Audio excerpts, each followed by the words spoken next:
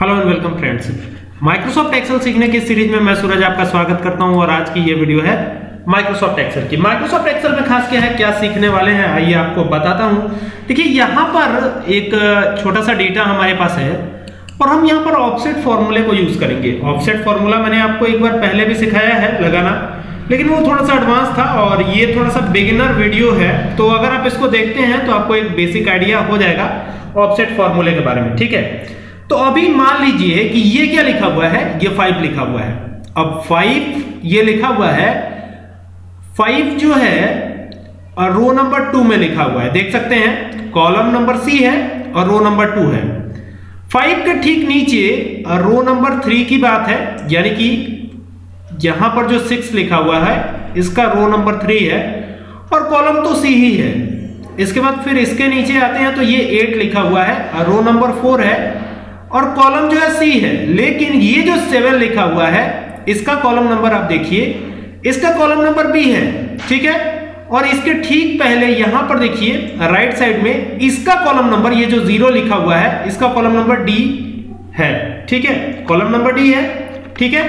इसके बाद यहाँ पर देखेंगे तो इसका कॉलम नंबर है ई e, ठीक है? तो अभी हमें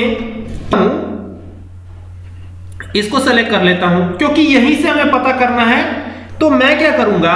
अब यहाँ पर देखिए, कितना नीचे आना होगा हमें। देखिए, एक, ये हो गया, फिर दो हो गया, रो।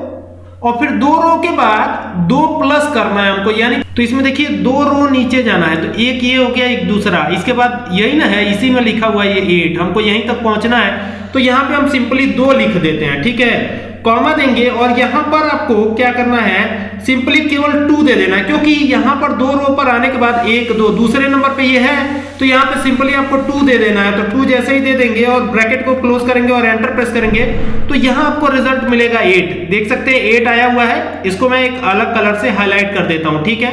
ये देखिए। अब अगर इसी फॉर्मूले को मैं यहाँ पे फिर अप्लाई करता हूँ ऑफसेट लगाता हूँ, ये ऑफसेट लगाया हमने।